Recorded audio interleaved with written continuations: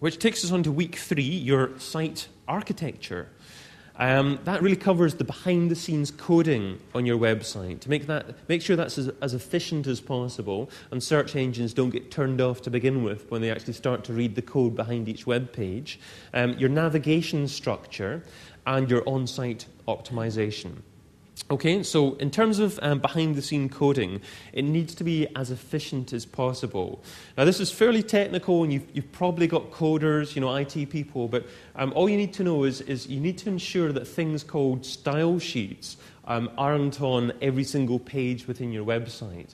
In other words, every bit of technical coding within your website isn't stored on every single page. It's actually stored on a file outside, outside your web pages. And each individual web page isn't, is as efficient as possible in that when search engines read it, they get straight to your content. They get straight to your, what your title is, what your heading is, and what the actual text is on your page. So they can easily determine what each page is about. Um, your page should also be ordered correctly for search engines. What that means is that um, if you have big categories, you know, links to other pages in your website, you can actually have little bits of code within the top of your page that says to search engines, don't read this first. Uh, the first thing to read is actually what the title of the page is about, what the heading is, and what the content is. And then after you've read that, then you can read all the links, you know, and other um, links to other pages in the site. But if you, if you read the specific content, first of all, it's helping search engines determine the precise relevance of each page. And if they know the relevance of each page, then they're much more likely to be able to determine it and actually say, yes, we should be listing that page highly in search engine results for a particular keyword phrase. Um, navigation structure. Um, it's important that um, your keyword phrases are incorporated within your category links, you know, within your individual page links as well. So if you've got a link you know, to a page which is about business ethics articles, you know, that link should say business ethics articles. You know, it should be a, a text link that says that. And then people click on that link, they get to that page. It helps search engines determine that that that must be what that page is about that it's linking to.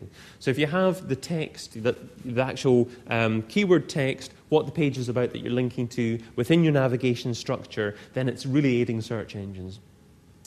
Um, so again, can, this is demonstrated in the website Destination Guide TV by having a look at the different categories. You know, you've got Europe travel videos, you know, but if you go to United Kingdom travel videos, if you want to link back to Europe travel videos, it's using the keyword phrase Europe travel, travel videos to actually go back. It helps search engines determine that that's what that category is about.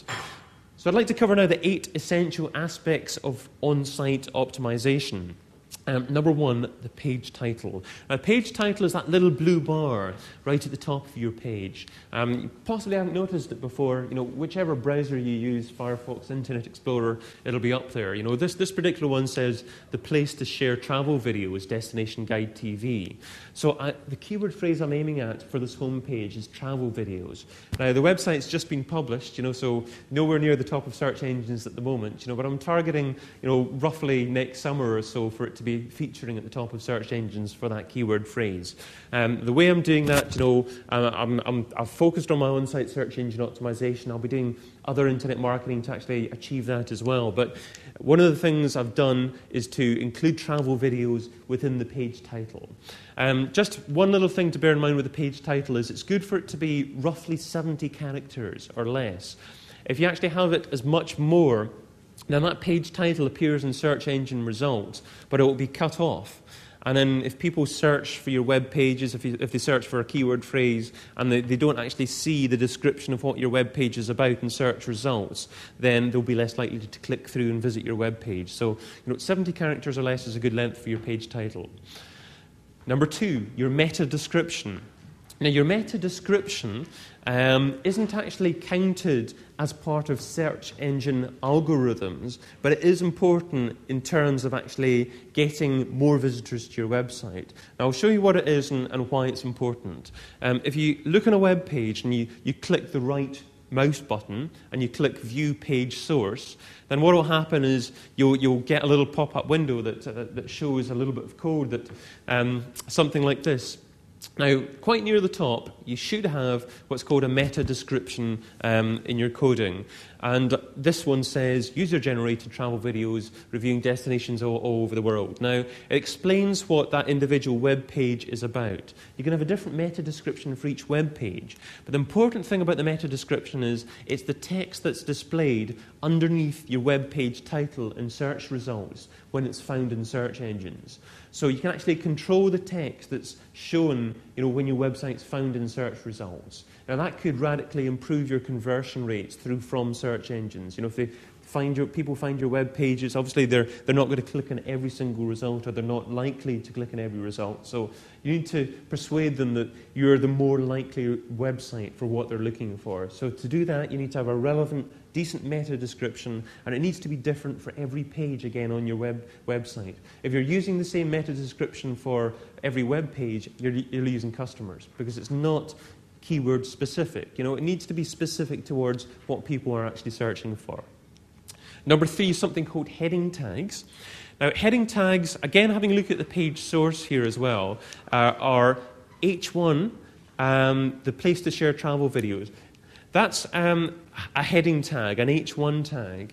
Um, heading tags come in different formats H1, H2, H3, and they're basically different levels of heading tags, different levels of importance. You're telling search engines which text um, your page is about. So, what your heading is on your page. Uh, and if my page is about the place to share travel videos, and I incorporate my keyword phrase within the heading tag, then again, I'm telling search engines that's what the page is about. So you're more likely to actually hopefully display um, this page for that keyword phrase because it's got a heading tag about it and explaining to search engines that's, that's what the page is about. So remember to include your keyword phrase within a heading tag.